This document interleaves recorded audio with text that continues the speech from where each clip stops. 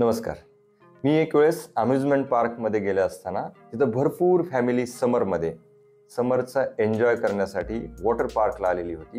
परंतु अचानक पाण्यामध्ये खेळत असताना सुद्धा एक मुलगा कोलॅप्स झाला म्हणजे चक्कर येऊन पडला. त्याला ज्यावेळेस बाहेर काढलं त्यावेळेस ॲज अ डॉक्टर म्हणून मी त्याच्याजवळ गेलो. त्यावेळेस असं लक्षात आलं की त्याचे ओठ कोरडे पडलेले आहेत. डोळे एकदम क्षीण झालेले तो पाण्यात खेळत होता. परंतु हिस्ट्री ज्यावेळेस विचारलं त्यावेळेस तिच्या आईने सांगितलं की सकाळपासून त्यानं पाणी पिलं नाही. आणि मग त्याला आपण थोडासा उपचारानंतर तो बरा झाला त्याला पाणी पिलं. तर ही स्टोरी मी कशासाठी सांगतोय?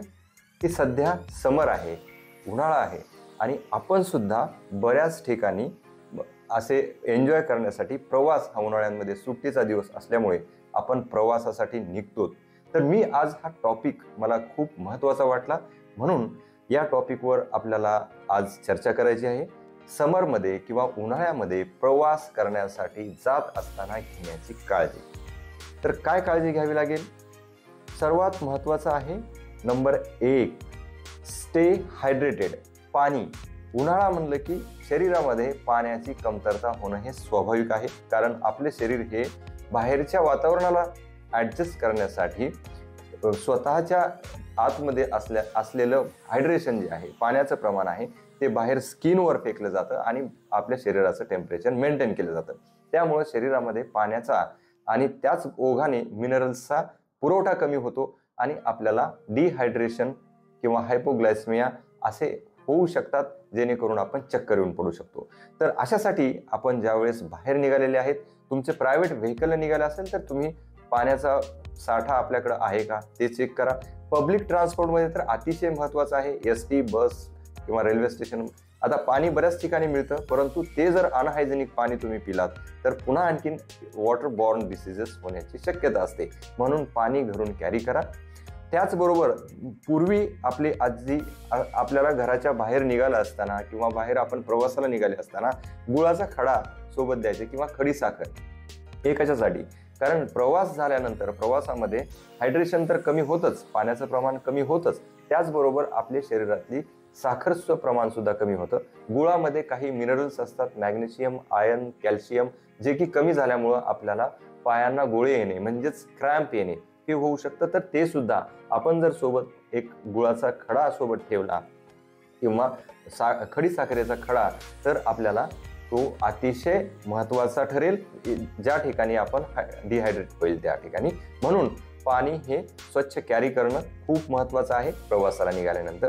दुसरं आहे उन्हाळ्यामध्ये प्रवासामध्ये आपली स्किन सन खूप अल्ट्राव्हायोलेट रेज फेकतो.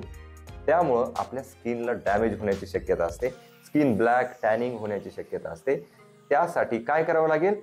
कुठलंही एक सन क्रीम सनस्क्रीम आपण ज्याला म्हणतो तर thirty F F P S त्याचा रेटिंग असलेलं किंवा त्यापेक्षा जास्त क्रीम आपल्यासोबत असणं गरजेचं आहे. जेणेकरून आपण सकाळी नऊ नंतर बारा त्यानंतर तीन वाजता प्रवासात असाल तर तीन तास ते तीनचे चार तास ते ऍक्ट करतं. त्यामुळं अप्लाय करणं गरजेचं आहे. जेणेकरून आपण आपले स्किन मॉइश्चर आणि आपण सनबर्नपासून प्रोटेक्ट करू शकतो.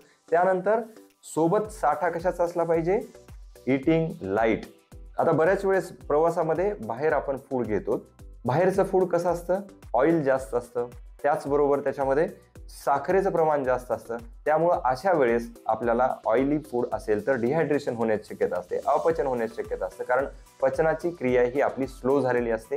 म्हणून आपण पाण्यांनी भरपूर आहेत. म्हणजे टरबूज आहे वॉटरमेलॉन आहे असे फ्रूट्स आपण कॅरी करू शकतो किंवा तिथं परचेस करू शकतो. त्याचबरोबर असे रेस्टॉरंट्स निवडा जे जेथे खूप हायजेनिक फूड मिळतं फ्रेश फूड मिळतं आणि लाइट फूड मिळतं. डाळ खिचडी असं आपण या टाईपचे फूड आपण प्रवासामध्ये खाऊ शकता किंवा सोबत कॅरी करायचं असेल तर ड्राय फ्रूट्स आहेत. तर ते सुद्धा आणि त्याचबरोबर आपल्याकडं असणारे फ्रूट्स जे की ॲपल वगैरे इझिली कॅरी करू शकतात. असे फ्रूट्स आपण कॅरी करणं गरजेचं आहे जेणेकरून आपलं डायजेशन स्ट्रॉंग राहील. त्यानंतर उन्हाळ्यामध्ये मॉस्किटो बॉर्न डिसिजेस खूप असतात. प्रवास केल्यानंतर किंवा अचानक तुम्ही रात्री कुठं थांबण्याचा प्रसंग आला हॉटेलला वगैरे तर मॉस्किटो रिपलंट असणं खूप गरजेचं डेंग्यू मलेरिया असे जे मॉस्किटोचे आजार आहे ते उन्हाळ्यामध्ये साथ असते. त्यामुळं असं मॉस्किटो रिपेलंट किंवा तुम्ही जाळी सोबत छोटीशी नेट आपण कव्हर करण्यासाठी नेणं गरजेचं आहे. जेणेकरून आपण त्या आजारांना बळी पडणार नाही. त्यानंतर स्वतः स्टे करताना बऱ्याच वेळेस आपण रेल्वे स्टेशनला बस स्टँडला थांबतो तर उन्हामध्ये थांबतो. तर तशा ठिकाणी न थांबता जिथं झाडाची सावली आहे त्या ठिकाणी बऱ्याच वेळेस कामामध्ये आपल्याला लक्षात राहत नाही कुठं थांबलोत. आणि अचानक चक्कर येऊन पडल्यानंतर लक्षात येतं की हा उन्हाच थांबलोत म्हणून. स्ट्रेसमध्ये स्ट्रेनमध्ये असताना. त्यावेळेस तुम्ही झाडाची सावली किंवा जिथं कानोसा आहे त्या ठिकाणी थांबणे जिथं सावलीचा भाग आहे तिथं किंवा अगदीच उन्हामध्ये थांबताय तर आपण कॅप किंवा हेड रॅप करून थांबणे हे खूप गरजेचं आहे. सर्वात शेवटी अतिशय महत्त्वाचा हा पॉईंट आहे जेणेकरून सर्वांनी आपण उन्हाळ्यामध्ये घरी करू शकता किंवा प्रवासामध्ये असताना सुद्धा करू शकता. शीतली आणि शीतकारी. तुम्ही गाडीत प्रवास करताय आणि वेळ मिळाला. तर ज्यावेळेस टेम्परेचर बाहेर खूप जास्त असतं त्यावेळेस दोन प्राणायाम करू शकता तुम्ही कुठले? याला पैसा लागत नाही याला कुठले इक्विपमेंट लागत नाहीत. इझिली करू शकता. शीतली जीभ बाहेर करणे जिभेची पोंगळी तयार करणे. आणि श्वास जिभेला टच होईल असा आतमध्ये घेऊन बाहेर नाकाने सोडणे. मी एकदा करून दाखवतो. तुम्ही हा जर केला तर एक नॅचरल आईस्क्रीम प्रमाणे आपल्या बॉडीला थंडावा मिळतो. माइंड सायलंट होतं आणि पित्ताचा त्रास सुद्धा कमी होतो. तर ह्या अशा पद्धतीनं आपण जिभेची पोंगळी करायची. ब्रीद इन करायचा. ब्रीद आउट ही आहे शीतली. त्यानंतर शीतकारी. त्याच्यानंतर दोन्हीपैकी एक केला तरी चालेल. जिभेमध्ये जीभ दोन्ही दातांमध्ये ठेवायचे. आणि जिभेच्या साईडनी म्हणजे वरच्या बाजूनी आणि खालच्या बाजूनी हवा टच होईल अशी हवा आतमध्ये ओढायची. फक्त काळजी घ्या. कोविड काळामध्ये किंवा बाजूला जर पेशंट एखाद्या वेळेस खोकला करत असेल तर अशा वेळेस हे कॉन्ट्राइंडिकेटेड आहे. तुम्ही एकटे असताना आणि मोकळ्या हवेमध्ये असताना हे प्राणायाम करू शकता जेणेकरून तुमची जी शरीरामधली हीट स्ट्रेस राग आणि पित्त हे सुद्धा कमी होईल. तर अशा प्रकारे आपण जर हे चार पाच पॉईंट्स लक्षात ठेवले तर आपला उन्हाळ्यातला प्रवास जो आहे तो सुखकर होईल. आपण आपली फॅमिली एन्जॉय करू शकाल.